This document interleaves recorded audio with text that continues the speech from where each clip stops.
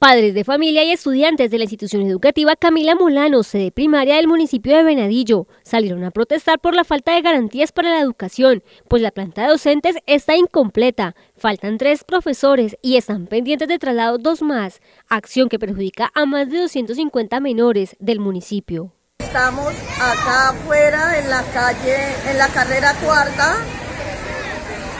en la carrera tercera, donde está la instalación de la sucursal de la Camila Molano, eh, Liceo Venadillo. Entonces, para ver si nos colaboran con los maestros que faltan.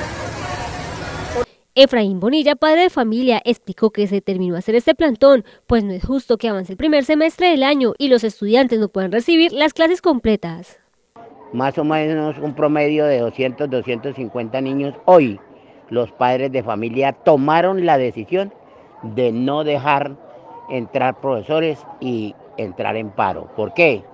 Porque hacen falta como cuatro profesores y de ñapa se van a llevar la profesora, se van a llevar dos profesores de preescolar. Lo preocupante es que la Secretaría de Educación no genera soluciones, sino que antes se lleva más docentes de la escuela. De no brindar una solución, continuará el paro y no se dejará ingresar a ninguna persona a la escuela que es que hay muchos alumnos sin profesor.